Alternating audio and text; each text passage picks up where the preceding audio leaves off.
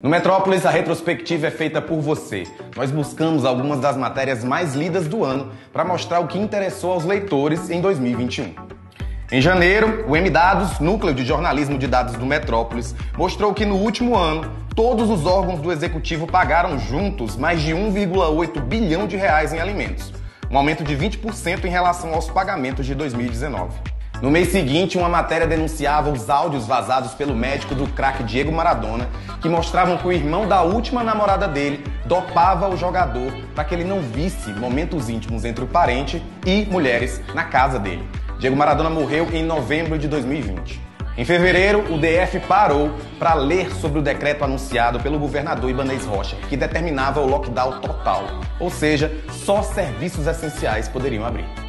BBB também pode ser fonte de discussões sérias. E em março, o pedido de Fiuk para aparar os pelos fez muita gente se interessar por uma matéria na qual uma médica falava da importância da higiene nas regiões íntimas. O caso do menino Henry seguia chocando o país quando, em abril, a cabeleireira de Monique Medeiros, mãe da criança, fez um depoimento que reforçou as suspeitas da polícia em relação a Monique e Dr. Jairinho.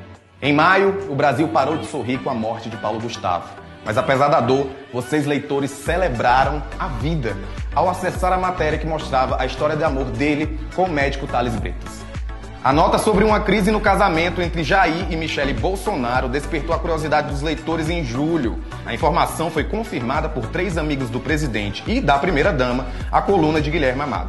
O ouro de Rebeca Andrade vai para sempre ser um dos momentos históricos de 2021 mas a resposta dela, bem sincera para um repórter, também chamou a atenção de muitos leitores. Eu saí do pode vir pra cá falar com vocês? Como é que eu vou ligar pra minha mãe? O Brasil ficou de luto em novembro com a morte de Marília Mendonça. Mas de novo vocês mostraram que querem celebrar a vida quando vocês acessaram avidamente a matéria que mostrava a história de amor de Marília com o Murilo Ruff. E para você, qual foi a notícia mais importante de 2021? Deixa aí nos comentários e até 2022.